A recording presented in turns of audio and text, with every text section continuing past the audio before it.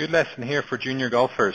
One of the most common faults with junior golfers is that they create, uh, they, in creating their speed, they create a very fast hip rotation in transition. It's good when you're a junior golfer to create some club head speed, but eventually you need to learn to match up your body and your arms a little more to create some consistency.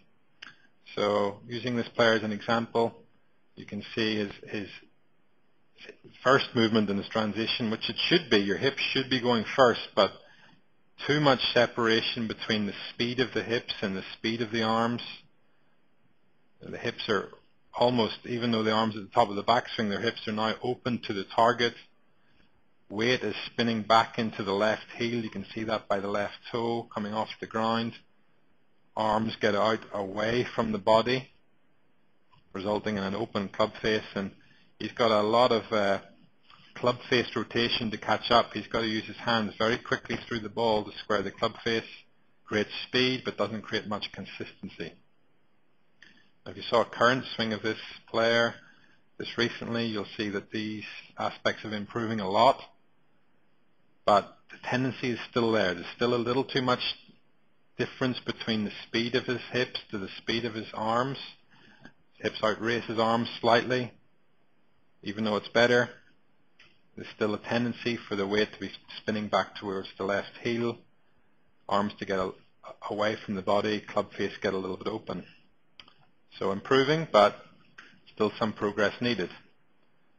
If this is you, this is a good drill.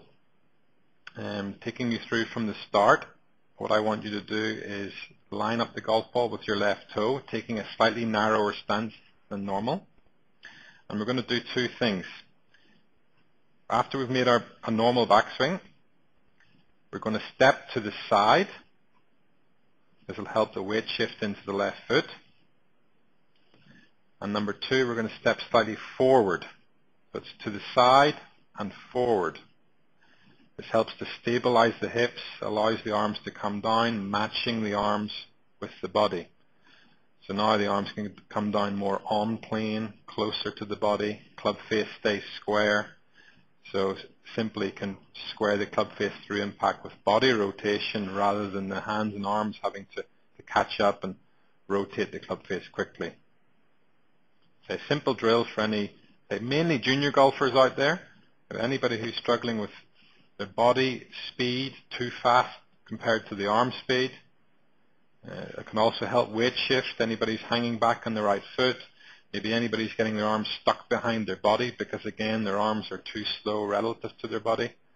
It's a simple drill for you to be trying in your next practice session and uh, helping to, say, match up your arms to the body.